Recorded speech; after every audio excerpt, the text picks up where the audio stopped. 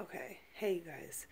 Um, uh, I wanted to give you an update from my last video about um, how I was freaking out about my doctor wanting to induce me at 39 weeks, like he does for all of his patients. So, all of that was a big misunderstanding. Um, like on my part, I think the nurse practitioner that I've been seeing has been kind of like pushing it, like pushing that 39 week thing, because she kind of made it sound like I didn't have a choice.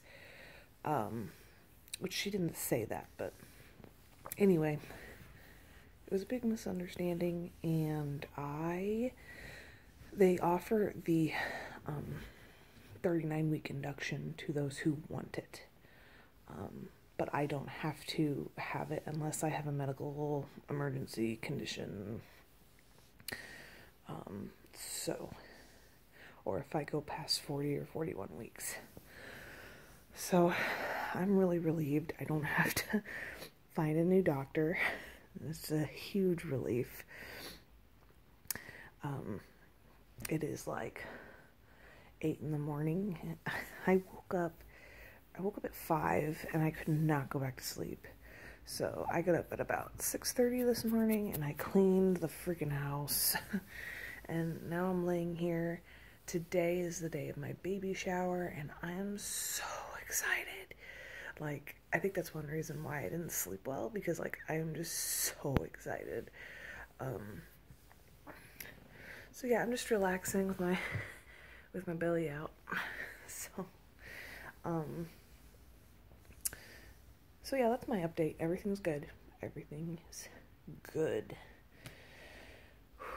That really stressed me out though. Like, wow. Anyway, thank you guys for your encouragement and your advice on everything. Um, I'll let you guys know how my baby shower goes, and I might even do like a haul, like on the things that I have received as gifts. Um, I'm just so excited. Um, so yeah. Um, tomorrow marks that I'm 33 weeks pregnant. So, yay. And yesterday was my last day of work. So happy. Oh my gosh. like, it could not get here soon enough. I'm just so happy to start this, like, new um, transition in my life. Like, I'm going to be doing a different kind of work. so I'm I'm just really excited. Man, life is crazy. This time last year I did not imagine my life to be like this. It's it's crazy. Okay, so thanks again you guys. I will talk to y'all later.